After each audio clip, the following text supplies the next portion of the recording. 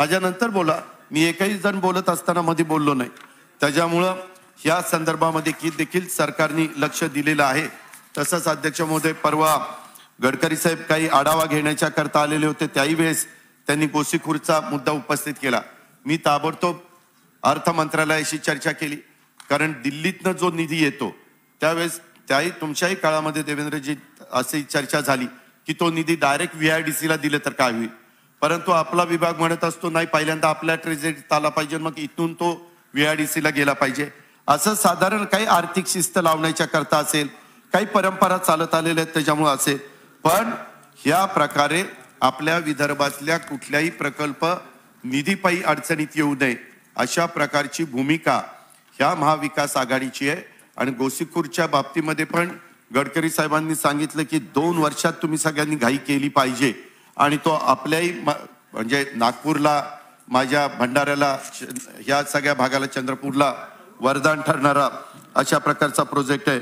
अध्यक्ष महोदय हे ज्यावेळेस आम्ही करण्याचा प्रयत्न केला मला याच्यातनं एकच सांगायचं होतं की आम्ही दुजेपणा त्या ठिकाणी केला नाही.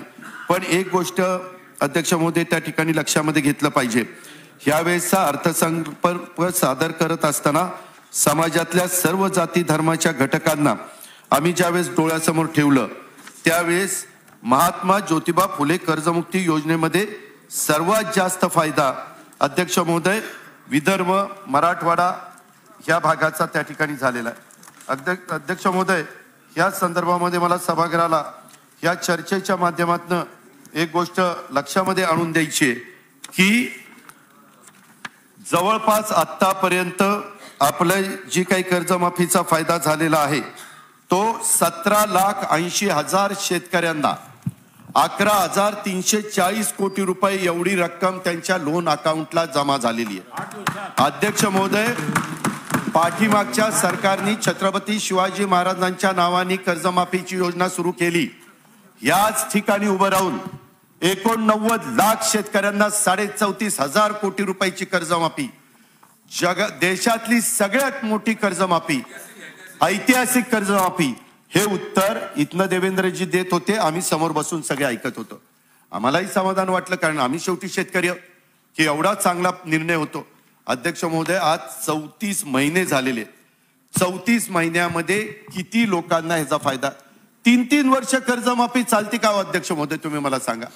माग देखील एकाहत्तर हजार कोटीची कर्जमाफी सोनिया गांधींनी पी चिदंबरम साहेबांनी पवार साहेबांनी त्या ठिकाणी घेतलेली होती. एकाहत्तर हजार कोटीची कर्जमाफी दोन तीन महिन्यामध्ये झालेली होती. परंतु चौतीस चौतीस महिने. अध्यक्ष महोदय आज महात्मा ज्योतिराव फुले शेतकरी कर्जमुक्ती योजना ही फक्त त्या ठिकाणी अठ्ठावीस तारखेला पैसे द्यायला सुरुवात केली फेब्रुवारीला. पंधरा दिवसामध्ये अकरा हजार तीनशे चाळीस कोटी रुपये दिले पंधरा दिवसामध्ये. आणि मी या चर्चेच्या निमित्तानं सभागृहाला सांगू इच्छितो सीएम साहेबांचं म्हणणं आहे की एकतीस मार्च पण मी एकतीस मार्च काही हे करत नाही. पण पंधरा एप्रिल पर्यंत ही योजना ह्या पहिल्या टप्प्यातले जे कोणी शेतकरी आपले बसतायत त्या सगळ्यांना पैसे मिळाले पाहिजे अशा प्रकारचं सरकारचं धोरण आहे. अध्यक्ष महोदय साधारण ह्या सगळ्याला बावीस हजार कोटी रुपये लागत पैसे लागले तरी चालेल. ठीक आहे प्रत्येकाची वेगवेगळी मतं असू शकतात. काही जण असं सांगू शकतात की कर्जमाफी झाली म्हणजे शेतकऱ्यांच्या आत्महत्या थांबतील अशातला भाग नाही. पण किमान त्या शेतकऱ्याला आपला सातबारा पुन्हा क्लिअर झाल्यानंतर नवीन कर्ज घेण्याच्या करता तो पुन्हा पुढे येऊ शकतो. तो पुन्हा खरीपाचं कर्ज त्या ठिकाणी घेऊ शकतो. आणि अध्यक्ष महोदय या प्रकारे आमच्या सरकारचा मानस आहे आणि ही कर्ज माफी देत मुक्ती देत असताना पाठीमागच्या सरकारने अध्यक्ष महोदय एक जी आर काढला नाही. सव्वीस शासन निर्णय काढले. सव्वीस सारखे बदलायचे. एक की दुसरा दुसरा की तिसरा अधिकाऱ्यांनाही कळत नव्हतं. अरे ही मागचा आहे आता नवीन दुसरा आला. असं करून अधि अधिकारी गोंधळून गेले होते. अध्यक्ष महोदय महात्मा ज्योतिराव फुले शेतकरी कर्जमाफी मुक्ती योजनेचा एक मी आजपर्यंत अतिशय अभिमानाने सांगू इच्छितो. फक्त एक पहिला जी आर काढलेला आहे त्याच्यावर अजूनही बदल कुठलाही केलेला नाही. त्या पद्धतीनंच योजना. फार विचारांती. आतापर्यंत पहिली दुसरी तिसरी सगळ्या ज्या कर्जमाफ्या झाल्या त्याचा बारकाईने विचार केला. कुणी विचार करणारच. आणि त्याच्यामध्ये शेतकऱ्याला यावं लागणार नाही जास्त हेलपाटे घ्यावे लागणार नाही. पूर्वीची कर्जमाफी कसली होती?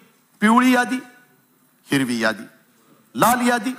अरे कसला पिवळी हिरवी लाल काय झालं? फार काही काहींची पिवळी व्हायची वेळ आली अध्यक्ष महोदय. पण या असल्या याद्या सांगायची वेळ आली. ते लोकांना वाटायचं सिग्नल आहे का? लाल पिवळा हिरवा कुठला असतं का अध्यक्ष महोदय परंतु त्या प्रकारे झालं आणि शेतकरी योज ह्या योजनेमध्ये अनेक जण लाभापासून वंचित झाले. अध्यक्ष महोदय ह्या सगळ्या त्रुटी दुरुस्त करण्याचं काम महाविकास आघाडीच्या सरकारच्या माध्यमातून झालं आणि ह्याच्यातून ही योजना त्या ठिकाणी दिलेली आहे. ही योजना दिल्यानंतर ह्यावेळेसच्या अर्थसंकल्पामध्ये सातत्याने आम्ही जो लोक ज्यावेळेस जायचो त्यावेळेस शेतकरी म्हणायचे की रेग्युलर कर्ज फेडणाऱ्यांनी काय केलं? आम्ही काही चूक केली का? कर्ज आम्ही थकवलं नाही आणि माफी आम्हाला त्याच्यामुळे मिळाली नाही. म्हणजे आम्ही काही चूक केली का? त्यांनाही चांगली सवय आहे. त्याच्यामुळं पाठीमागच्या काळामधल्या सरकारनी पंचवीस हजार रुपये प्रोत्साहनपर अनुदान दिलं. आम्ही त्याच्यामध्ये निर्णय घेतला पंचवीस हजार नाही पन्नास हजार रुपये त्यांना प्रोत्साहनपर अनुदान द्यायचं. आणि त्या प्रकारे ते अनुदान देण्याचा निर्णय यंदाच्या अर्थसंकल्पामध्ये आम्ही घेतला. त्याचबरोबर दोन लाखाच्या वर बरेच शेतकरी भेटायचे मुख्यमंत्र्यांना भेटायचे मंत्र्या सहकाऱ्यांना भेटायचे अधिकाऱ्यांना भेटायचे आपल्याला भेटायचे आमदारांना भेटायचे. माझं कर्ज दोन लाख दहा हजार आहे. आणि मग मला दहा हजाराकरता दोन लाखाची माफी नाही का? मग काही शेतकरी म्हणले मी दहा हजार रुपये भरायला तयार आहे. कोण सव्वा दोन लाखवाले म्हणले आम्ही पंचवीस हजार रुपये भरायला तयार आहे. अडीच लाखवाले म्हणले आम्ही पन्नास हजार रुपये भरायला तयार आहे. पण आम्ही तेवढे भरले तरी आम्हाला दोन लाखाची द्या. शेवटी सरकारने तोही निर्णय मान्य केला आणि जे दोन लाखाच्या वरचं कर्ज आहे त्यांनी वरची रक्कम भरली तर दोन लाख रुपये त्यांनाही मिळाले पाहिजे अशा प्रकारची भूमिका या सरकारने त्या ठिकाणी स्वीकारली. आणि अध्यक्ष महोदय आमच्या या सरसकटबद्दल एक टीका केली जाते. जमीन धारणा संदर्भात कोणती अट ह्या कर्जामध्ये टाकलेली नाही. तुमचं पाच एकर असू दहा एकर असू वीस एकर असू सरसकट. जेवढी एकर जमीन आहे तेवढे सगळं सकट. त्याच्यातनं आम्ही ही कर्जमाफी त्या ठिकाणी दिलेली आहे. त्याच्यावर सरसकटबद्दल आम्ही त्याच्यामध्ये तो विचार केलेला आहे. आणि अध्यक्ष महोदय विदर्भामध्ये आतापर्यंत तीन लाख त्र्याऐंशी हजार सहाशे बत्तीस माझ्या कष्टकऱ्यांना शेतकऱ्यांना दोन हजार पाचशे पंच्याहत्तर कोटी कर्जमाफी मिळाली. खानदेशमध्ये तीन लाख सत्याऐंशी हजार शेतकऱ्यांना तेवीसशे पंच्याहत्तर कोटी मिळाली. पश्चिम महाराष्ट्रातले तीन लाख त्रेचाळीस हजार चोवीसशे कोटी मिळाले. आणि मराठवाड्यातल्या सहा लाख शेतकऱ्यांना तीन हजार सहाशे कोटीची कर्जमाफी आज अखेर मिळाली. मग हा अर्थसंकल्प काही ठराविक भागातला हा मराठवाड्याच्या लोकांचा अर्थसंकल्प नाहीये. विदर्भ माझा उत्तर महाराष्ट्र अर्थसंकल्प नाहीये. ठीक आहे राजकीय काय बोलायचं हा तुमचा अधिकार आहे. परंतु कारण नसताना एखादी चुकीची बाब पन्नास वेळा फासून सांगितली तर ती नंतर खरी वाटायला लागती. तसा दणका ठेवला होता. विदर्भावर अन्याय मराठवाड्यावर अन्याय अमक्यावर अन्याय. अध्यक्ष महोदय तसं अजिबात नाही. आणि हे महाविकास आघाडीचं सरकार महाराष्ट्रातल्या कुठल्याही भागावर अन्याय करण्याकरता आलेलं नाही. हे सगळ्यांना सर्वांगीण विकास करण्याच्या करता आलेलं सरकार आहे. अध्यक्ष महोदय या एकंदरीत अर्थसंकल्पामध्ये पाच लाख सौर ऊर्जा पंपांची योजना आपण देतोय.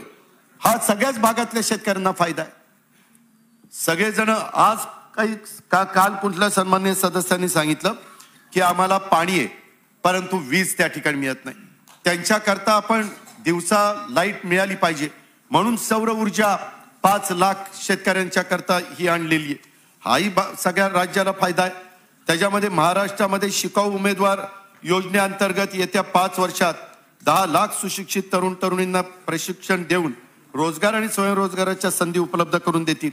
हे युवक युवती माझ्या महाराष्ट्रातले नाहीत का? माझ्या मराठवाडा विदर्भ उत्तर महाराष्ट्रातले नाही आहेत का? ह्याचाही विचार केला पाहिजे ना.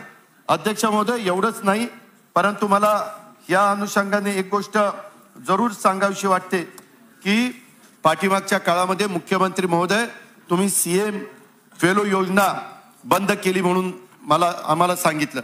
परंतु तुम्ही ही योजना सुरू केली. त्रेचाळीसच जण मुख्यमंत्री फेलोचा कार्य कार्यकार हा एकतीस तीन दोन हजार वीस रोजी संपुष्टात आणण्याचा निर्णयच्या बद्दलची चर्चा झालेली होती.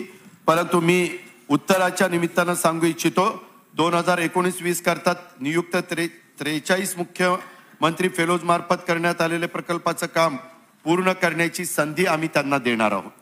त्याकरता त्यांच्याकडनं प्राप्त विनंतीच्या अनुषंगाने मुख्यमंत्री फेलोशिप कार्यक्रम दोन हजार एकोणीस वीस मधील त्रेचाळीस मुख्यमंत्री फेलोशिप फेलोंचा कार्य कार्यकाळ पूर्व अकरा महिन्याचा करण्यात येईल. काही त्यांना आम्ही काढणार नाही किंवा काही करणार नाही. आम्ही काही मुलांना काढण्याकरता आलेलो नाहीये. मुलांचं भलं करण्याच्या करता आलेलो आहे. मुलांचं त्यांना त्यांच्या स्वतःच्या पायावर उभं करण्याच्या करता काय करता येईल? याबद्दलचे निर्णय घेण्याच्या करता अध्यक्ष महोदय आलेलो आहे. ही पण बाब मला सांगायची. अध्यक्ष महोदय एस टी महामंडळाच्या बसेसची दुरावस्था झालेली. त्याच्यामध्ये सोळाशे नवीन बसेस आपण घेतोय आणि त्या पण सगळ्या महाराष्ट्राच्या करता घेतोय. आणि ॲम्ब्युलन्स हा कार्यक्रम फार पूर्वीचा होता. ॲम्ब्युलन्सची अवस्था दयनीय झालेली आहे. म्हणजे त्याकरता पाचशे रुग्णवाहिका नवीन खरेदी करण्याचा निर्णय घेतलेला आहे. आणि पुढच्या वर्षी पण असाच कार्यक्रम आम्ही राबवणार आहे. अध्यक्ष महोदय मागील शासनाने फक्त भूमिपूजनाच्या कार्यक्रमावर भर दिलेला होता परंतु आम्ही नवीन कामं सुद्धा त्या ठिकाणी कर सुरू करतोय. आणि त्याच्यातून एकशे सत्याऐंशी सार्वजनिक आरोग्य खात्याचे रुग्णालय आणि आरोग्य केंद्राच्या इमारती पूर्ण करण्याच्या करता तीन वर्षामध्ये पुरेसा निधी देण्याचा निर्णय आम्ही घेतलेला आहे. अध्यक्ष महोदय अनेक आमदारांनी त्याचं कौतुक केलं. विशेषतः राज्यात पंच्याहत्तर नवीन डायलिसिस केंद्र उभी करणार आहे ती सगळ्या महाराष्ट्रात होणार आहे. मराठवाडा विदर्भ सहित. हे सर्व ठराविक भागाकरता नाहीये. ग्रामीण सडक विकास योजना शहर स- सडक विकास योजना त्याचं काहींनी कौतुक केलं. परंतु राज्यातील सर्व भागामध्ये ही कामं हाती घेणार आहे. आणि नागरी सडक योजनेच्या करता एक हजार कोटी रुपयाची तरतूद आपण केलेली आहे. आणि ग्रामीण भागामध्ये चाळीस हजार किलोमीटर रस्त्यांचा विकास करण्यात येणार आहे. अध्यक्ष महोदय ही गोष्ट तेवढीच खरी आपण ज्यावेळेस ग्रामीण भागामध्ये शहरी भागामध्ये फिरतो त्यावेळेस मुंबई पुणे पिंपरी चिंचवड या आर्थिक बाबतीमध्ये नवी मुंबई संपन्न असणाऱ्या महानगरपालिका सोडून द्या. पण बाकीच्या महानगरपालिका पगाराला महागत. चंद्रपूर घ्या परभणी घ्या लातूर घ्या त्यांना नागपूरची पण परिस्थिती फार काही समाधानकारक नाहीये. त्याच्यामध्ये जळगावचं पण तेच. ही सगळेच ही तिघ चार लोक सोडून सगळ्या आणि त्या सगळ्यांची अवस्था बिकट आहे. त्याकरताही त्यांना निधी दिला पाहिजे. म्हणून आम्ही शहरी जवळपास पन्नास टक्के शहरी आणि पन्नास टक्के ग्रामीण भाग झालेला आहे. म्हणून ह्या अर्थसंकल्पामध्ये विचार करत असताना ग्रामीण भागाबरोबर देखील शहरी भागातल्या पण माझ्या नागरिकांचा विचार आमच्या महाविकास आघाडीच्या सरकारने त्या ठिकाणी केलेला आहे अध्यक्ष महोदय या पद्धतीनं सगळ्यांना न्याय देण्याची भूमिका काहींनी असंही सांगितलं की कोकणावर अन्याय शिवसेना चे मुख्यमंत्री ते महाविकास आघाडीचे मुख्यमंत्री आहेत पण त्यांचा पक्ष शिवसेना आहे. ते शिवसेनेचे आज प्रमुख आहेत. शिवसेना तिथनं सुरुवात झाली. आणि क- कोकणवर अन्याय. कसा अन्याय होईल कोकणवर? शिवसेन आज महाविकास आघाडी असताना माझाही नेहमी कल अर्थमंत्री म्हणून राहिलेला आहे की कोकणाला अधिकचं मिळालं पाहिजे. काय होतं ह्या कर्जमाफीमध्ये सगळ्यांना अकरा हजार कोटी रुपये मिळाले. पण कोकणला काय मिळालं? त्याच्यामुळं कोकणला वेगळा निधी दिला गेला पाहिजे. ही आमची भूमिका. आणि त्याच्यामुळं बाणकोट केळशी दाभोळ जयगड ह्या खाडीवरचे चार मोठे पूल आणि रेवस्ते रेड्डी अविकसित सागरी मार्गाचं पाचशे चाळीस कोटी कॉन्क्रिटीकरणाचं काम आम्ही करतोय. साडेतीन हजार कोटी रुपये आम्ही त्याच्याकरता देतो की कोकणाला मदत व्हावी पर्यटनाला चालना मिळावी. त्याच्या संदर्भामध्ये तिथं रोजगार निर्माण व्हावा. नवीन नवीन वेगवेगळ्या लोकांनी तिथून येऊन रिसॉर्ट टाकावीत. तिथल्या स्थानिकांनी काही त्याच्यामध्ये गुंतवणूक करावी. आणि त्याच्यातून मोठ्या प्रमाणावर पर्यटक गोव्याला जसा येतो तसा माझ्या सिंधुदुर्ग रत्नागिरी रायगडच्या परिसरामध्ये यावा कोकणच्या परिसरामध्ये यावा ही खऱ्या अर्थाने आमची भूमिका आहे. आणि म्हणून काजू प्रक्रिया करता म्हणले पंधरा कोटीच देणार. पंधरा कोटी नाही मी आज सभागृहाला सांगतो हे पंधरा कोटी कोकणच्या परिसरातल्या माझ्या सहकाऱ्यांनी प्रस्ताव आणले आणि पंधरा कोटी संपले तरी देखील पुढच्या पुरवणी मागण्यात पाहिजे तेवढा निधी देतो काही काळजी करू नका. पण अजिबात कोकणवर अन्याय होऊन दिला जाणार नाही. कोळंबी उद्योगासाठी शासन खाजण जमिनी उपलब्ध करून देण्याच्या धोरणात बदल प्रस्तावित आहेत.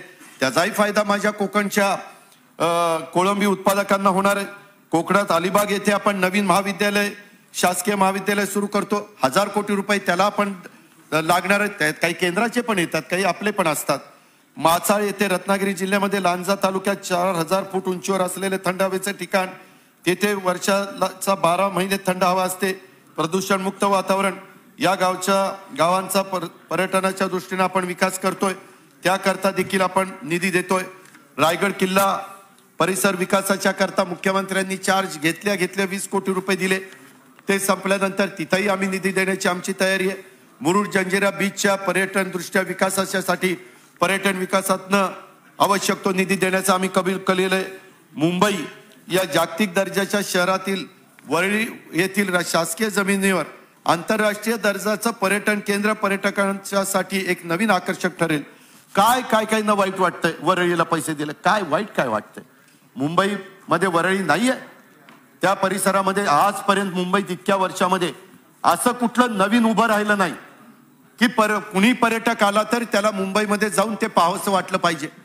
एक नवीन कल्पना पुढे आली. त्याच्यामध्ये कौतुक केलं पाहिजे. त्याच्यामध्ये आणखीन काय? एक हजार कोटी रुपये. नाही नाही असू दे ना. जमीन तुम्ही नाही बीकेसी मधली जमीन किती हजार कोटीची जमीन बुलेट ट्रेनला द्यायचं ठरवलेलं होतं. काढा विचारा जरा उजव्या हाताला बसणाऱ्या नेत्यांना. काही का असं ना? अध्यक्ष महोदय. अध्यक्ष महोदय त्याच्या संदर्भामध्ये एखादी जमीन त्या जमिनीमध्ये चंद्रकांत दादा पाटील एक गोष्ट मी सांगतो त्याच्यातली दोन एकर जो जमीन झोपडपट्टीमध्ये गेली. उद्याच्याला अशा प्रकारच्या किती जमिनी आपल्या मुंबईमध्ये आपल्या समजा दिल्ली आपलीच राजधानी देशाची. बघा ना काही काही ठिकाणी उद्या झोपडपट्टी झाल्यानंतर तिथं आपल्याला एस आर ची स्कीम करावी लागते. कारण त्यांचाही हक्क आहे. आम्हाला घर मिळालं पाहिजे. तेव्हा अशा पद्धतीच्या जमिनी जर अशा प्रकारे वापरात आणल्या आणि त्याच्यातनं एक नवीन पर्यटनाला चालना दिली तर त्याच्याबद्दलचं कौतुक केलं पाहिजे. आम्ही एवढेच पैसे दिले नाही. अध्यक्ष महोदय जवळपास अडीच हजार कोटी रुपये पर्यटनाला दिले. इतर दीड दीड हजार कोटी रुपये कोकणच्या आणि महाराष्ट्रातल्या इतर पर्यटनाला दिले. आजपर्यंतच्या राज्याच्या इतिहासामध्ये एवढा निधी पर्यटनाला कधी दिलेला नव्हता. आणि अध्यक्ष महोदय मला थोडंफार जे कळतंय त्याच्यामध्ये सगळ्यात जास्त रोजगार जर कशातनं निर्माण होत असेल तर तो पर्यटनातनं होतो. आणि त्यामुळं आपण हा अशा प्रकारचा प्रयत्न करतोय. हे करत असताना जो मागासलेला भाग आहे त्यालाही पुढे आणायचंय. त्यालाही निधी द्यायचा आहे तिथंही आम्ही कुठं कमतरता करत नाहीये.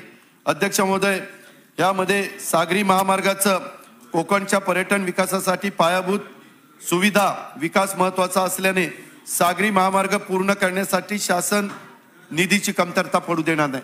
अध्यक्ष महोदय रविवारीच मुख्यमंत्री महोदय रोरोच्या करता इथून मांडव्याला चाललेले. ही एक पद्धतीने एक प्रकारची सोयच आहे.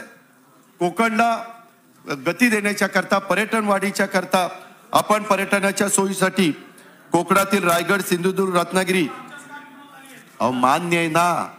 परंतु सुरू करण्याचं नशीब आमच्या पा आमचे का ज्याची उद्घाटन आम्ही करतो त्याची सुरुवात तुम्ही केलेली आहे. तुम्ही ज्याची उद्घाटन केली त्याची सुरुवात आधी आम्ही केलेली होती. हे चक्र चालूच आहे. अध्यक्ष महोदय परंतु आम्ही जे तुम्ही सुरू केलं ते सुरू क तुम्ही सुरू केलं ते सांगायची दानत देखील आमची आहे. अध्यक्ष महोदय पर्यटकांच्या सोयीसाठी रायगड सिंधुदुर्ग रत्नागिरी या तीन जिल्ह्यात बीच सॅक पॉलिसी प्रथमतः राबवण्याचं प्रस्तावित आहे. तसंच पर्यटन विकासाच्या दृष्टीने महाराष्ट्र पर्यटन विकास मंडळाच्या जागांचा विकास खाजगी भागीदारी तत्वावर करण्याचा देखील आमचा मनोदय त्या ठिकाणी आहे. अशा प्रकारे अध्यक्ष महोदय आम्ही त्या ठिकाणी गती देण्याचं काम करतोय. अध्यक्ष महोदय जसं हे सगळ्या गोष्टी सांगण्याचा प्रयत्न केला तसं खूप मोठी चर्चा झाली की जिल्हा नियोजन समितीमध्ये काही काही भागांच्यावर अन्याय झाला. अध्यक्ष महोदय विशेषतः माझ्या ह्याचं नाव घेण्यात आलं नागपूरचं नाव घेण्यात आलं. मी आपल्याला सभागृहाला एक गोष्ट सांगू इच्छितो की पाठीमागच्या काळामध्ये जे काही डी पी सीमध्ये निधी अर्थमंत्री त्या ठिकाणी देत होते त्या संदर्भामध्ये एक माहिती मी आपल्याला देऊ इच्छितो की गेल्या वर्षीचा अध्यक्ष महोदय डीपीसी जिल्हा वार्षिक योजना कशात नसते? त्या जिल्ह्याचं क्षेत्रफळ. त्या जिल्ह्यातली लोकसंख्या त्या जिल्ह्याचा मानव विकास निर्देशांक. ही पद्धत पहिल्यापासून चालत आलेली आहे. अध्यक्ष महोदय निधीच्या सूत्रानुसार दोन हजार वीस एकवीस.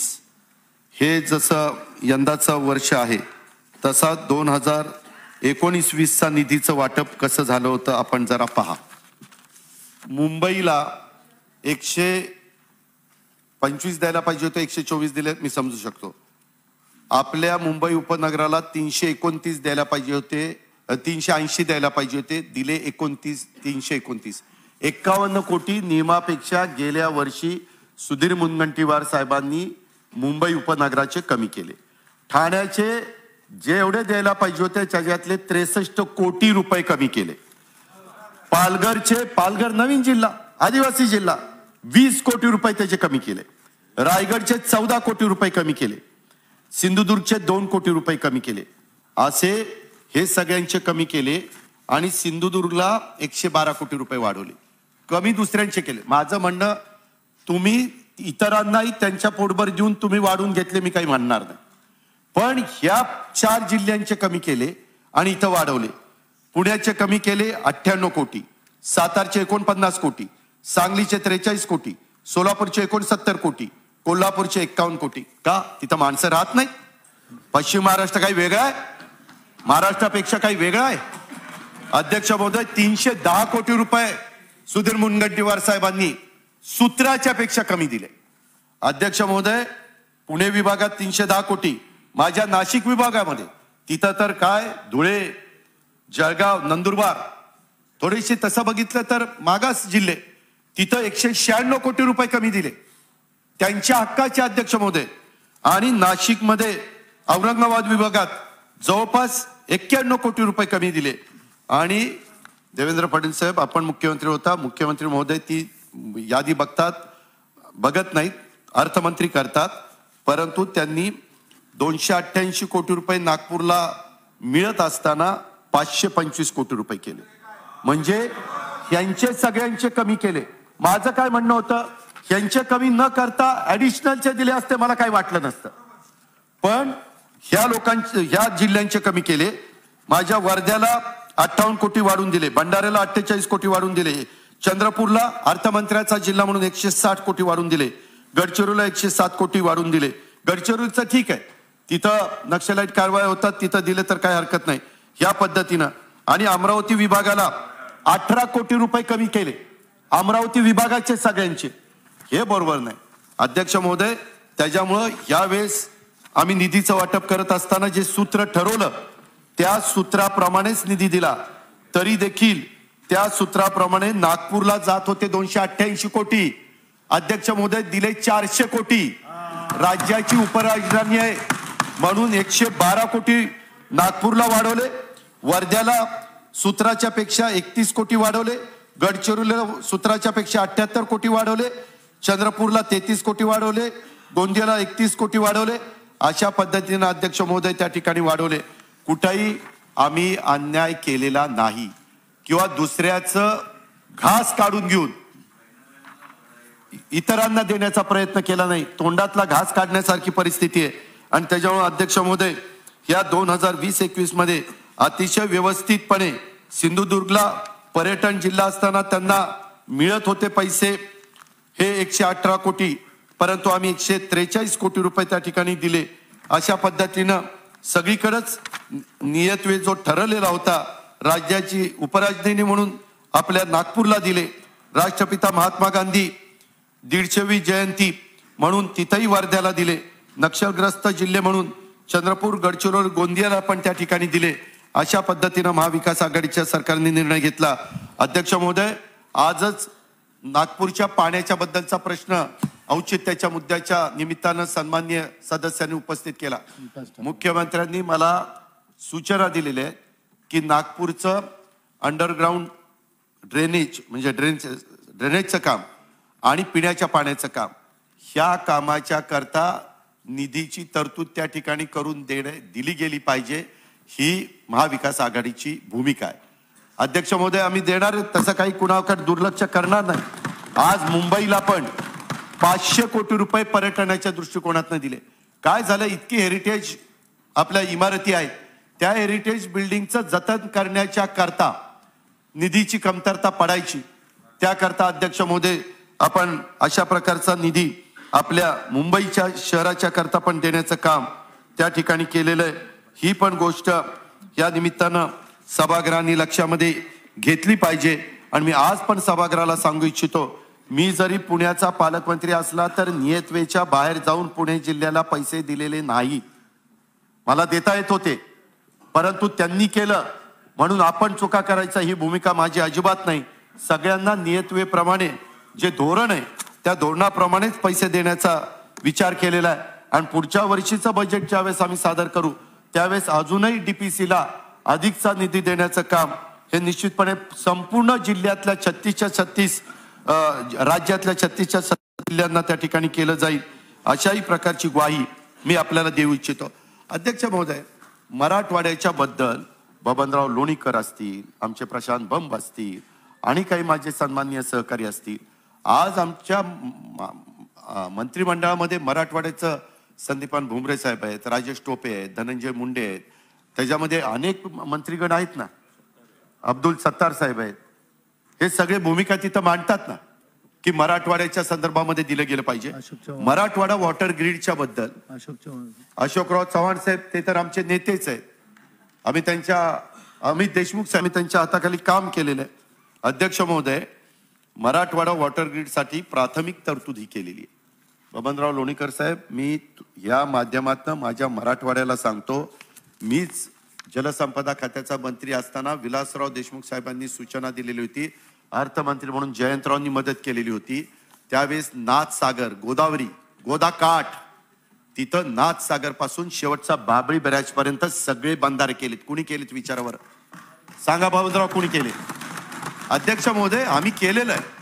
त्याच्यामध्ये आज दोन्ही तीरावर जे काही पाणी पाहायला मिळतंय हे बॅरेजेसच्या निमित्तानं मिळत आहे मांजऱ्यावर केले सिंपणावर केले. अध्यक्ष महोदय आम्ही दुजेपणा केला नाही. तिथले साठवण तलाव केले. आणि आज जसं परतूर विधानसभा मतदारसंघाचं काम केलं चांगलं केलं. शेवटी आपण पण निवडून गेल्यानंतर काम केलं पाहिजे. जनतेच्या अपेक्षा असतात. आणि त्याच्यामुळं आत्ता दोनशे कोटी रुपये दिलेले असले तरी ही फक्त सुरुवात आहे. याकरता आम्ही लातूर उस्मानाबाद आणि औरंगाबाद अतिशय पाण्याचं दुर्भिक्ष असणारे जिल्हे आणि तिथला परिसर निवडलेला आहे. ही आम्ही सुरुवात करतोय. ह्याला जो काही निधी लागेल उद्या टेंडर झाल्यावर टेंडर होईपर्यंत देवेंद्र फडणवीस साहेब तुम्हालाही माहिती आहे की एकदम निधी ठेवून त्या ठिकाणी चालत नाही. जो काही निधी लागेल तो निधी त्या प्रमाणामध्ये देण्याच्या करता महाविकास आघाडीचं सरकार अजिबात मागं राहणार नाही. मराठवाड्याला कुठल्याही परिस्थितीमध्ये पैशाची कमतरता कमी पडू देणार नाही. हा शब्द मी या निमित्तानं महाराष्ट्रातल्या जनतेला त्या ठिकाणी देतो. अध्यक्ष महोदय मराठा ग्रीडला पैसे मराठवाडा ग्रीडला जसे पैसे कमी पडणार नाही तसं इतरही बाबतीमध्ये आम्ही निधी देण्याचं त्या ठिकाणी ठरवलेलं आहे. क्रीडा विद्यापीठाच्या बद्दल पण बोललं गेलं परंतु इथं सुनील केदार साहेबांना विचारा. क्रीडा विद्यापीठाचा प्रस्ताव पुण्याचा त्यांनी आणला. मी आणलेला नव्हता. आता एखाद्या खात्याच्या मंत्र्यांनी प्रस्ताव आणल्यानंतर त्यांनाही मान सन्मान ठेवावा लागतो. अध्यक्ष महोदय असं त्यांचं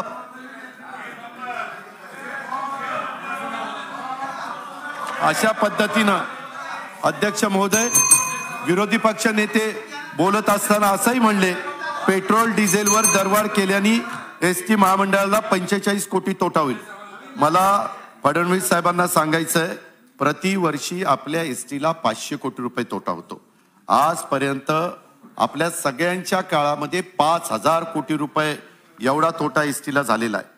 त्याच्यामध्ये सगळेच जण कमी अधिक त्याच्यामध्ये जबाबदार आहे आता हे असताना पण चारशे कोटी रुपयाची नवीन बसेस घ्यायची तरतूद केलेली आता पंचेचाळीस कोटी जरी आले तरी चारशे कोटी रुपये देतोय आणि आम्हाला साधारण दोन वर्षामध्ये ह्या सगळ्या बसेस नव्या करायच्या आणि त्याच्यात मिनी बसेस पण आम्ही देतोय.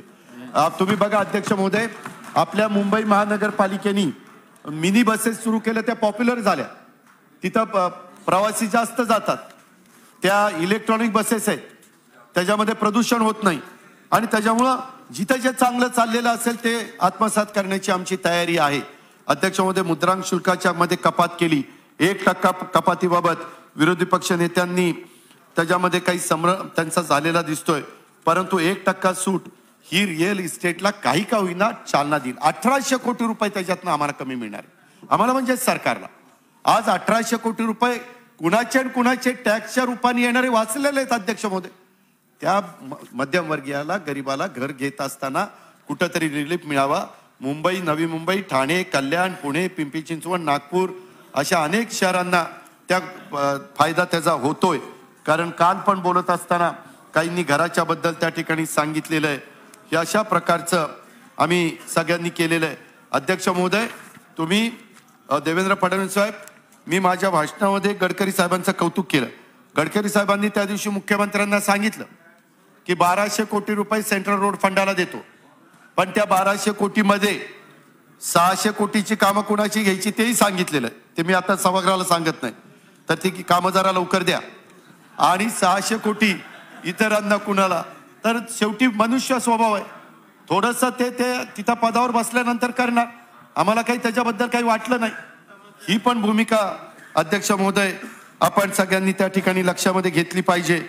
अध्यक्ष महोदय बोलत असताना मुख्य त्या विरोधी पक्ष नेत्यांनी जलसंपदा आणि सार्वजनिक बांधकाम विभागाच्या बद्दलचा उल्लेख केला. तुम्ही सांगितलं की सगळ्या पगाराच्या सहित पैसे तसं नाहीये. अध्यक्ष महोदय सार्वजनिक बांधकामला दोन हजार एकोणीस वीसच्या अर्थसंकल्पामध्ये अठरा हजार चौऱ्याण्णव कोटीची तरतूद केलेली होती. दोन हजार वीस एकवीसमध्ये आपण नऊ टक्के वाढ केली. आणि एकोणीस हजार सहाशे अडतीस कोटी रुपयाची तरतूद केलेली. कारण ग्रामीण भागातले रस्ते सुधारले गेले पाहिजेत. नॅशनल हायवेच्या निमित्तानं काही रस्ते तर चालूच आहेत. तसंच जलसंपदा खात्याची तरतूद साडेआठ हजार कोटीची होती. अध्यक्ष महोदय ती आम्ही दहा हजार कोटीची तरतूद त्या ठिकाणी केलेली आहे.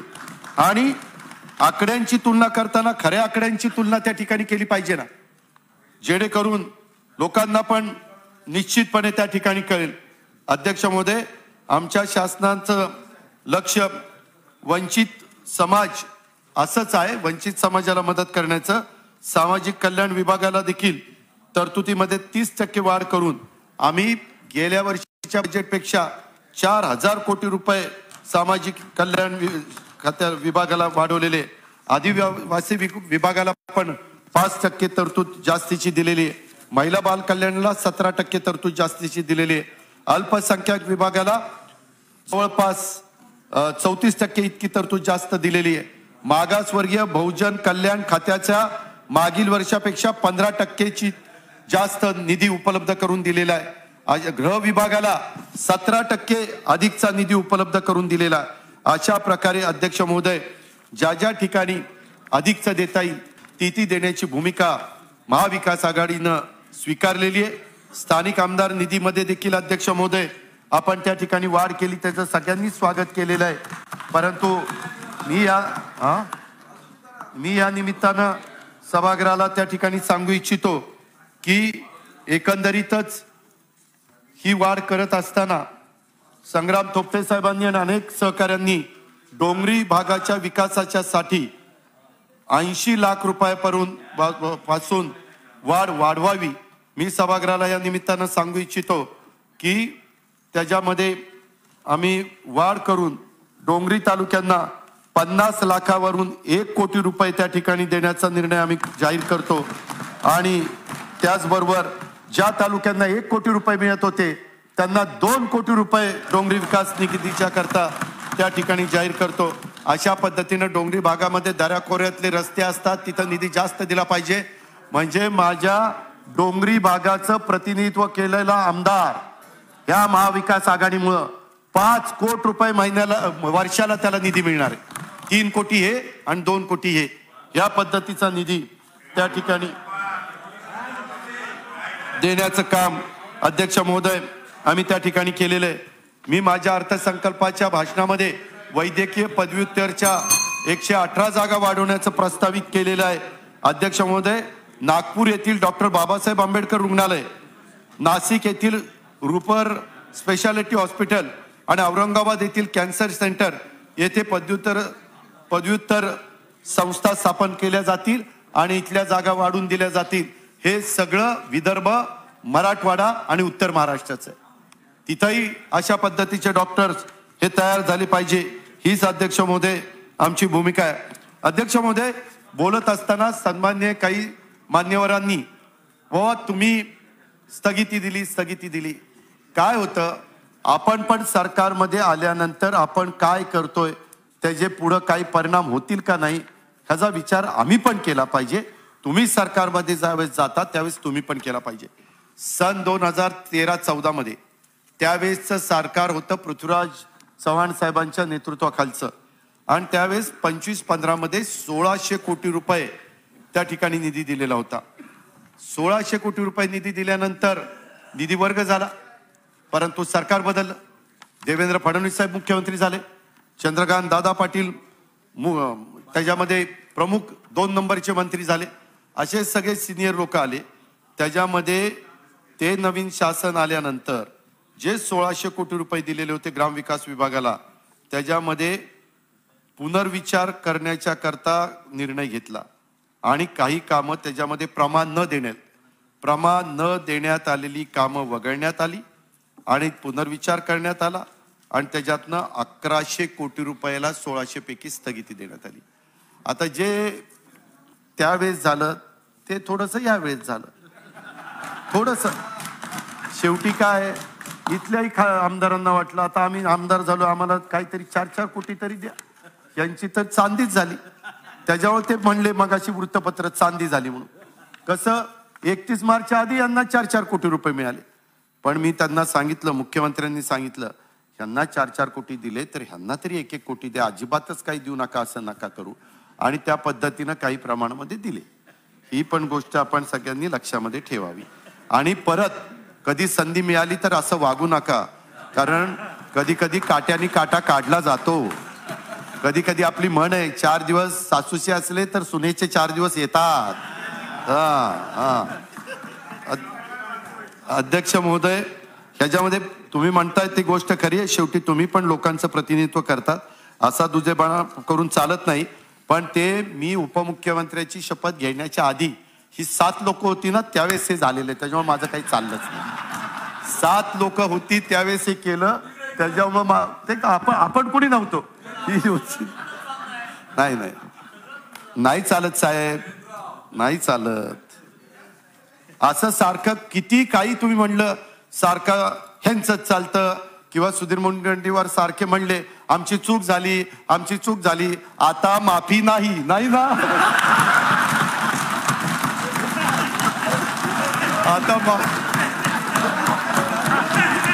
सारखं उजव्या कानाला मी असतो आणि डाव्या कानाला बाळासाहेब असतात. माफी नाही ना? माफी नाही ना? अध्यक्षमध्ये गमतीचा भाग जाऊ द्या. परंतु शेवटी वेगवेगळे पक्ष असतात वेगवेगळी राजकीय भूमिका असती वेगवेगळे विचारधारा असती. का माझं म्हणणं असं आहे असं म्हणून पाच वर्ष तिथं काढली तरी चालतील. असं करूनच तुम्हाला मागची सांभाळावी लागतील. अरे चोर होणार रे होणार रे होणार रे. नाही तर ती कवाच उधळतील. काय कळायचंच नाही. पटा पटा पटा इकडे तिकडे जातील. अध्यक्ष महोदय जास्त त्याच्याबद्दल बोलत नाही. शेव अध्यक्ष महोदय इकडं तर ज्योतिरादित्य सिंधिया होणार नाही. तिकडंच कुणीतरी होईल तेवढं लक्ष ठेवा. कारण कारण कारण काही काही गैरहजर आहेत जरा त्यांच्यावर लक्ष ठेवा मान्य आहे ना? मी कुठं नाही म्हणतो. जे केलं ते मान्यच आहे. मी लपून करत नाही. समोर करतो हा. आणि तिथंही केलं नंतर तिथंही सोडलं आणि इकडे आलो इथंही मजबूत बसलेलं आहे. अध्यक्ष महोदय ह्याच्यामध्ये सिल्लोड म्हणून आपला भाग आहे औरंगाबाद जिल्ह्यातला. तिथं एक सिद्धेश्वर महाराज मंदिराच्या सभा मंडपाच्या करता दोन कोटी रुपयाची तरतूद मी त्या ठिकाणी जाहीर करतो. तसंच सांगली आणि कोल्हापूरमध्ये पुरात नुकसान झालेल्या घरांच्या बाबतचा प्रश्न काल प्रकाश आवाडे साहेबांनी त्या ठिकाणी उपस्थित केलेला होता. पुरामध्ये नुकसान झालेल्या घरांच्यासाठी पंतप्रधान आवास योजनेचा लाभ देता येईल का हे आम्ही तपासतोय. आणि औषधा नुकसान झालेल्या घरांच्या बाबत देखील राष्ट्रीय आपत्ती सगळ्याच कोल्हापूरच्या सन्माननीय सदस्यांचं राष्ट्रीय आपत्ती निवारणाच्या नियमात कसा लाभ देता येईल ह्याबद्दलचा पण प्रयत्न आम्ही त्या ठिकाणी अध्यक्ष महोदय करतो. त्याच प्रकारे कोंढव्याला एक हज हाऊसच्या करता निधी पाहिजे चेतन तुपेंनी त्याची मागणी केलेली तोही निधी देण्याची व्यवस्था त्या ठिकाणी करण्यात येईल. अध्यक्ष महोदय त्याचबरोबर आमच्या औरंगाबादला पैठणचं नाथसागर म्हणून आहे. नाथसागरच्या तिथं पैठणला एक चांगल्या प्रकारची उद्यान आहे. त्या उद्यानाच्या संदर्भामध्ये बरेच दिवस तिथल्या लोकप्रतिनिधींचं तसंच अब्दुल सत्तार साहेबांची मागणी होती की बाबा तिथंही काही निधीची तरतूद त्या ठिकाणी केली पाहिजे. ती पण तरतूद संत ज्ञानेश्वर उद्यानाच्या विकासाच्या करता या नवीन अर्थसंकल्पामध्ये निश्चितपणे अध्यक्ष महोदय जे काही त्यांचा प्लॅन इस्टिमेट असेल त्याला जेवढा काही निधी ह्या वर्षाच्या करता लागेल तो निधी आनंद सागरच्या उद्यानाच्या धर्तीवर देण्याचं देखील काम सरकारच्या वतीनं त्या ठिकाणी करण्यात येईल. तसंच अध्यक्ष महोदय पाठीमागच्या काळामध्ये बरेच माजी सैनिक जे आहेत विशेषतः महाराष्ट्र राज्यामध्ये माजी सैनिक आणि त्यांच्या विधवा पत्नी यांची साधारण दोन लाख चव्वेचाळीस हजार एवढी संख्या आहे. आणि देशसेवेच्यासाठी त्यांचं योगदान विचारामध्ये घेऊन त्यांचे ग्रामीण भागामध्ये राहत असतील किंवा शहरी भागामध्ये राहत असतील त्यांना तिथं राहत असणाऱ्या ठिकाणी त्यांचा जो टॅक्स असतो आर्थिक भार असतो ग्रामीण भागाचा आणि शहरी भागातला तो घर भाडं तो घर भाडं त्यांचं त्या ठिकाणी माफ करण्यात येईल हाही निर्णय. अध्यक्ष महोदय त्या ठिकाणी करण्यात येईल. त्याचबरोबर मुख्यमंत्री महोदय पाट मुख्यमंत्री महोदयांनी एक सूचना केलेली होती. तसंच विरोधी पक्षनेते आपण सी एम असताना पण त्याला रिमार्क लिहिलेला होता. आपल्या पुणे शहरामध्ये इंजिनिअरिंग कॉलेज आहे. अनेक मुलं मुली तिथं शिकतात. तिथं सेंटर ऑफ एक्सलन्सी ह्याच्याकरता काही तरतूद करा. तर त्यांना एक वर्षाच्या करता जो काही निधी लागेल तो पण निधीची तरतूद. ही अर्थसंकल्पामध्ये त्या ठिकाणी करण्यात येईल अशा पद्धतीनं उत्तराच्या भाषणाच्या निमित्तानं मी सांगू इच्छितो. त्याचबरोबर अध्यक्ष महोदय आणि पण काही सन्मान्य सदस्यांनी वेगवेगळ्या प्रकारच्या मागण्या नितीन राऊत साहेबांनी चौदा कोटी चौऱ्याण्णव लाखाचा निधी नागपूर महानगर प्रदेशातील विकास प्राधिकरणाच्या प- उपलब्ध करून देण्यात यावा अशा प्रकारे सांगितलेलं होतं. त्या त्याही दादा doctor Babasaheb Ambedkar international convention centre Indora Nagpur येथील त्याही संदर्भामध्ये जी काही निधीची गरज असेल ती निधीची गरज त्या बाबतीमध्ये भागवली जाईल. अश- अशाही प्रकारची खात्री मी अध्यक्ष महोदय त्या ठिकाणी देऊ इच्छितो. त्याचबरोबर बाळासाहेब ठाकरे स्मृती मातोश्री ग्राम विक ग्रामपंचायत बांधकाम योजना ही नवीन योजना नाही आहे तर तेवीस जानेवारी दोन हजार अठरापासूनच घोषित झालेली आहे. माझ्या भाषणामध्ये त्याचा उल्लेख आलेला नव्हता परंतु तोही उल्लेख मी या निमित्तानं त्या ठिकाणी करतो. काही बाबतीमध्ये विरोधी पक्षनेत्यांनी नवीन योजनांच्या बद्दल आक्षेप नोंदवलेला होता परंतु विशेषतः शिवभोजनच्या करता. अध्यक्ष महोदय ही योजना नवी होती. खरं तर मुनग अं, सुधीर मुनगंटीवार साहेबांनी आम्ही आमच्या जाहीरनाम्याचा जेवढा अभ्यास नाही केला तेवढा ह्या महाराजांनी अभ्यास केला. ते तिन्ही आमच्या शिवसेनेचा त्याचबरोबर राष्ट्रवादीचा आणि काँग्रेसचे तिन्ही जाहीरनामे घेऊन बसलेले होते. परंतु बरं काँग्रेस राष्ट्रवादीचा एक तेव्हा का किती पाठ झाले? दोन तीन नाही. पण दोन बरोबर दोन दोन. त्या त्याच्यामध्ये दोन घेतलेले होते. आणि खरं तर आपल्याला अध्यक्ष महोदय आठवत असे की पाठीमागच्या काळामध्ये काही मोठ्या मोठ्या व्यक्तींनी जो जाहीरनामा असतो तो जाहीरनामा निवडणुकीच्या करता प्रसिद्ध करायचा असतो अशी काही वक्तव्य केली. पंधरा लाख रुपये काहींना मिळणार होते. अजूनपर्यंत कुणाला मिळाले नाही तरी जनता गप्प बसली. बर जाहीरनाम्यात नव्हतं. ते वक्तव्यामध्ये होतं जाहीर सभेत होतं. जाहीर सभेत. नाही नाही अध्यक्ष महोदय आता ते उठले असताना मी काही बोललेलं नव्हतं. अध्यक्ष महोदय. या पद्धतीनं वेगवेगळ्या. प्रकारच्या गोष्टी त्या ठिकाणी चाललेल्या आहेत. बसा बसा बसा बसा बसा बसा अध्यक्ष. महोदय मी माझ्या. अर्थसंकल्पाच्या चर्चेला उत्तर देत असताना मी त्या ठिकाणी एवढंच सांगू इच्छितो की हक्कभंग टाका अध्यक्ष महोदय फडणवीस साहेबांनी तुमची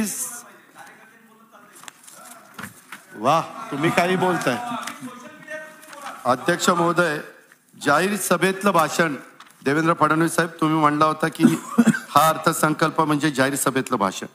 आता जाहीर सभेत तुम्ही पण कधी गेल्यानंतर कसली भाषणं करता? ज्याच्यातनं तुम्ही लोकांना तुमच्या बाजूनी खेचू शकाल असं. लोकांना पटेल लोकांना रुजेल सर्वांना ते पटेल अशा प्रकारचं. आता तुम्हीच म्हणताय आम्ही पण लोकभावनेचा आदर त्या ठिकाणी केलाय. लोकभावनेचा समावेश करून त्यांच्या आशा असतात आकांक्षा असतात.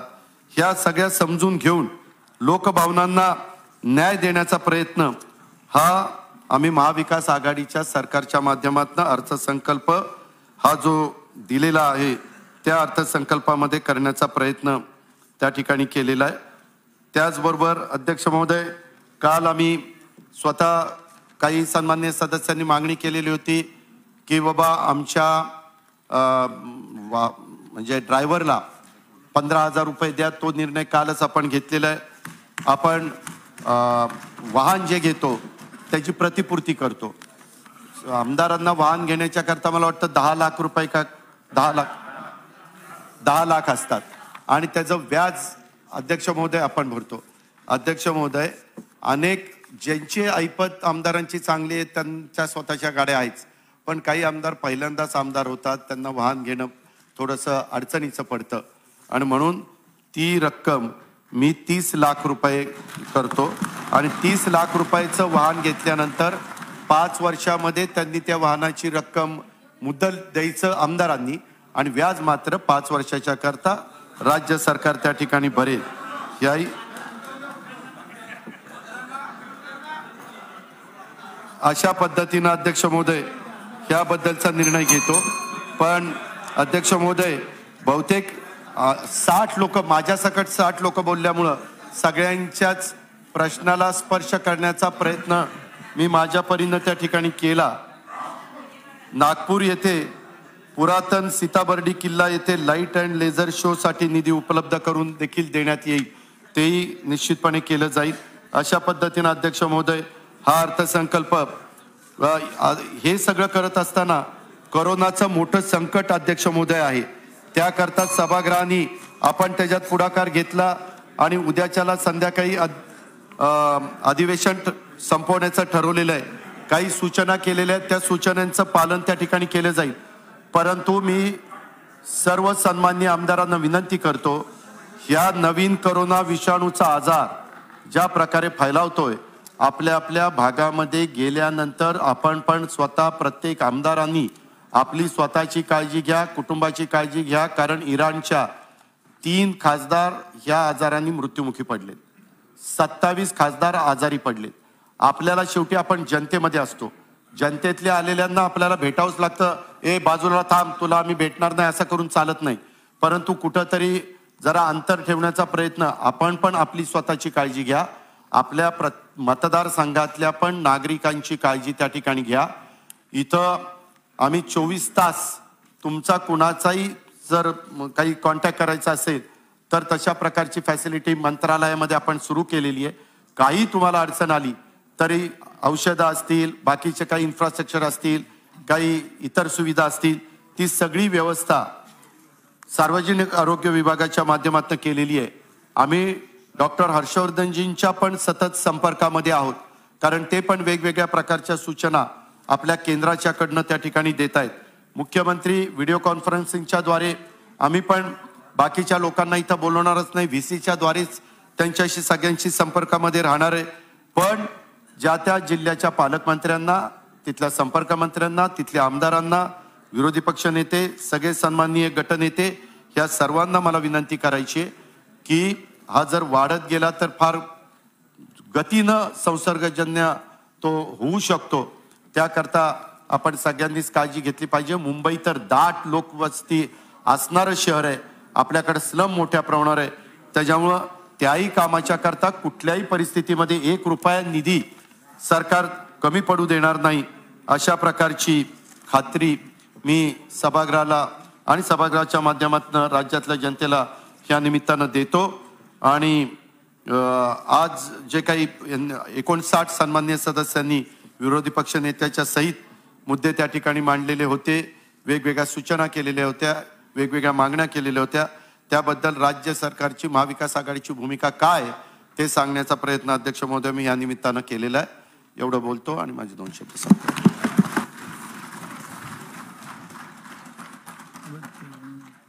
महाराज अर्थमंत्री महोदयांचं पूर्ण भाषण वगैरे ऐकण्याची संधी मिळाली नसली तरी आता जेव्हा काही मुद्दे सांगण्यात आले अध्यक्ष महाराज अर्थमंत्र्यांकडून अर्थसंकल्पावर जेव्हा सखोल चर्चा झाली त्यामध्ये स्पेसिफिक अर्थव्यवस्थेला गती येण्यासाठी ज्या मुद्द्यांची उत्तरं अपेक्षित होती त्यापेक्षा जास्त राजकीय मुद्दे मी आल्यानंतर बघत होतो की राजकीय मुद्दे किंवा नवीन काहीतरी घोषणा घोषणा केल्या त्याचं स्वागत आहे.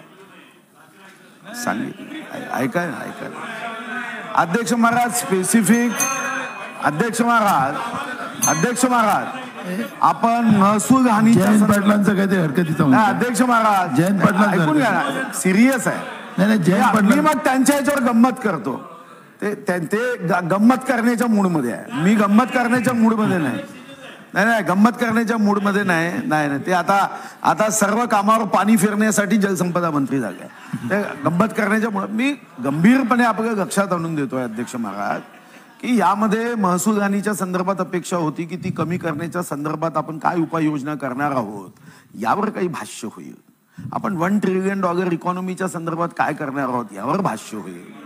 बेरोजगारांना बेरोजगारांना आपण रोजगार देण्याच्या संदर्भात जी पाच वर्ष मांडणी केली त्या पाच वर्षात काय होईल? शेतकरी चिंतामुक्त होईल. अर्थव्यवस्थेमध्ये अध्यक्ष महाराज ठीक आहे हे खरं आहे की आज ते सत्तेत आहे आम्ही विरोधात आहो. उद्या ते विरोधात येईल आम्ही सत्तेत येऊ. अहो अजिबात नाही असं म्हणता म्हणता आलं नाही तो विषय नाहीये इकडे. विषय तो नाही आहे अध्यक्ष महाराज शेवटी राज्य. राज्याची आर्थिक प्रगती याच्यावर एकत्रित चर्चा करायची म्हणून चर्चा आहे. हे असे राजकीय उत्तर मग तुम्ही पंधरा लक्ष रुपये कधीच म्हटलं नाही. पण पंधरा लक्ष रुपये देणार म्हणून वचननामात सांगितलं. अध्यक्ष महाराज अशा पद्धतीचं कुणाच्या तरी तोंडी वाक्य. काल माझ्या तोंडी वाक्य टाकलं की फसवलं. आणि आता ते पुन्हा म्हणतात चूक केली चूक केली. अध्यक्ष महाराज मी असं म्हटलं नाही ते विडंबनात्मक हसन मुश्रीफ साहेब बोलले तेव्हा सांगितलं आणि त्या विडंबनात्मक वाक्याचा उपयोग हा स्वतःच्या अर्थसंकल्पाच्या उत्तरासाठी करायचा. यापेक्षा जगात वाईट असू शकत सगळ्या पेपरला हेडलाईन. हा मग मी त्याच्यावर येणार आहे ना. मी तुम्ही हक्कभंग समिती तयार करत नाही आहे. मी मागेही तुम्हाला म्हणतो या विधिमंडळाची काही पवित्रता आहे. या विधिमंडळातल्या भाष्यावर अशा पद्धतीने कुठं युट्यूबमध्ये कुठं वर्तमानपत्रात चुकीची माहिती गेली आम्हाला हक्कभंग टाकण्यामध्ये मर्यादा येतात कारण समिती केली नाही आपण. मला आठवतं स्वर्गीय आर आर पाटील असताना एका वाक्यावर बाहेर चुकीची बातमी आली. अध्यक्ष महाराज मी भारतीय जनता पार्टीचा ते राष्ट्रवादीचे पण आम्ही या सभागृहाची पवित्रता म्हणून मी हक्कभंग टाकला आणि ज्यांनी चूक केली त्याला नव्वद दिवस जेलमध्ये झाली. शेवटी या सभागृहात पक्ष नाही आहे. या सभागृहाचं लक्ष एक जनता. निवडणुकीची भाषणं आपण चौकात करू. पण तुम्ही हक्कभंग समिती निर्माण केली नाही. नाही तुम्ही केली नाही. आणि ती समिती असती तर तुम्हाला साडेपाचचा तो आदेश द्यावा द्यायची गरज नावं द्या. नावं द्या. नावं द्यायची काय? नाही ती करावी लागते कारण नावं द्या. तुम्ही नावं द्या. आज संध्याकाळपर्यंत आम्ही नावं देतो. नावं द्या तुम्ही. पण मला अध्यक्ष महाराज अर्थमंत्री महोदयांकडून मोठी अपेक्षा होती. फार मोठी अपेक्षा होती. त्यांनी ठीक आहे भाषणात राजकारण केलं पाहिजे वीस टक्के राजकारण ऐंशी टक्के समाजकारण हे उद्धवजी हे आपल्या पक्षाचं असताना आता शंभर टक्के राजकारण होत आहे तुम्हाला मानलं पाहिजे. त्यांनी म्हटलं तुमच्याकडे पाहून म्हणत का बरं चूक जागी का चूक जागी का? तुम्ही काही बोलले नाही. तुमच्या हृदयात काय ते चेहऱ्यावर मी एका मिनिटात वाचू शकतो. अध्यक्ष महाराज अध्यक्ष जाऊ द्या तो मुद्दा जाऊ. अध्यक्ष महाराज अपेक्षा काय होती? म्हणून अध्यक्ष महाराज की उत्तर निराशजनक आहे. उत्तरातून राज्याच्या जनतेला राजकारणाचा आखाडा म्हणून विधानसभा बघायची नव्हती. तर राज्याच्या प्रगतीचं लक्ष गाठण्यासाठी मुद्दे आम्हाला बघायचे होते. पण हा ही जी अर्थमंत्र्यांनी निराशा केली याचा निषेध करून अध्यक्ष महाराज आम्ही समाजत्याग करतोय.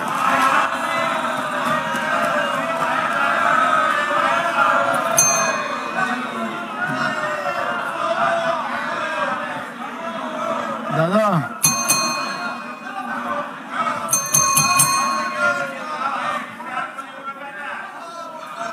बोलता?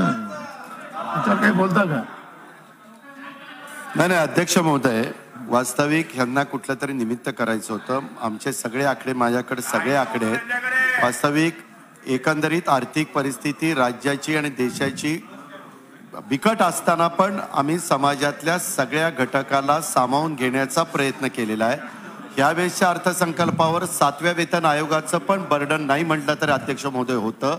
मंदीचं पण संकट सगळीकडे होतं. हे मंत्री महोदय. त्याला अध्यक्ष महोदय आपल्यालाही माहिती आहे. हो मंत्री महोदय. काय चाललं तुमचं? शेअर मार्केट काय पद्धतीनं घसरलेलं आहे? आज पेपरला बातमी आहे की साडे अकरा लाख कोटी रुपये शेअर मार्केटच्या निमित्तानं लोकांचे गेलेले अशा सगळ्या परिस्थितीमधनं आम्ही मार्ग काढण्याचा प्रयत्न करतोय. रिसोर्सेस वाढवण्याचा प्रयत्न करतोय. मी ग्रीनसेसचं बोललो नाही. ग्रीनसेस जे पर्यावरणाला कुठंतरी आपल्याला एक न्याय देण्याच्या दृष्टिकोनातनं ते देखील कर आपण बसवलेला आहे. अशा प्रकारचं आमचं काम चाललेलं आहे. परंतु आता कुठलाही मुद्दा नाही म्हटल्यानंतर त्यांना आता बाहेर गेल्याशिवाय गत्यंतर नव्हतं म्हणून त्यांनी वॉकआउट केलेलं आहे. वास्तविक मी पुन्हा महाराष्ट्रातल्या जनतेला सांगू इच्छितो उद्धव ठाकरेंच्या नेतृत्वाखालचं महाविकास आघाडीचं सरकार काम करत असताना महाराष्ट्रातल्या कुठल्याही घटकावर कुठल्याही समाजावर अन्याय होऊन देणार नाही. त्याकरता कुठलीही अडचण येऊन देणार नाही. ही खात्री मी ह्या निमित्तानं राज्याला देऊ इच्छितो. नाही एक एक शेतकऱ्यांच्या मनात एक कन्फ्युजन आहे की जे चालू शेतकऱ्यांना तुम्ही पन्नास हजार रुपये त्यांना देणार आहात. तर ते मार्च मध्ये एकतीस मार्चला शेतकरी थकीत होईल. आणि त्याच्यानंतर देणार की तो एक कन्फ्युजन अध्यक्ष महोदय ते आम्ही तीस जून दोन हजार वीस पर्यंत केले त्याच्यामुळं त्याला आत्ताही त्याचे पैसे भरले तर तीस जूनची यादी आम्ही बघणार. तीस जून पर्यंत जे नियमित कर्ज फेडणारा शेतकरी आणि तीस जूनला क्लिअर असेल त्याला आपण मग पन्नास हजाराचं प्रोत्साहन करू.